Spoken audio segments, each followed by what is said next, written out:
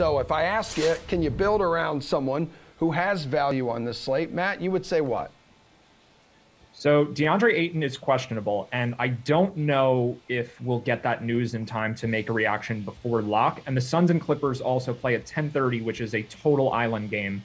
Um, this actually happened the other night. McGee was $3,400 as DeAndre Ayton's backup and put up nearly 50 fantasy points with only a 14% ownership number in the largest tournament because no one had the ability to swap to him. So you really needed to plan ahead if you wanted to play McGee. Um, fortunately, we have guys like Brandon Boston, who Julian mentioned before, um, where if you put McGee in the utility spot, you can just take him instead if Ayton's in.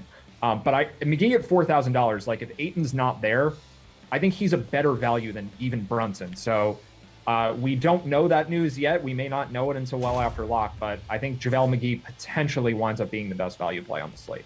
Jules, hook me up here, dude.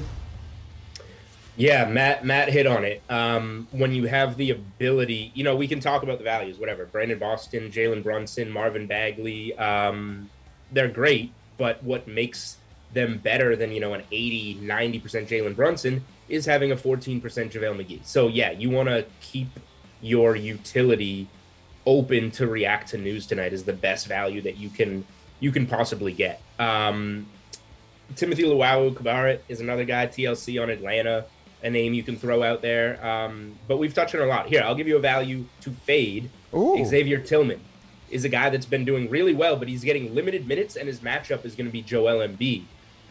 He could be off the floor in foul trouble four minutes into the game, and you've got a guy you think is going to go 8x, and uh, he winds up getting like 12 DraftKings points against Embiid.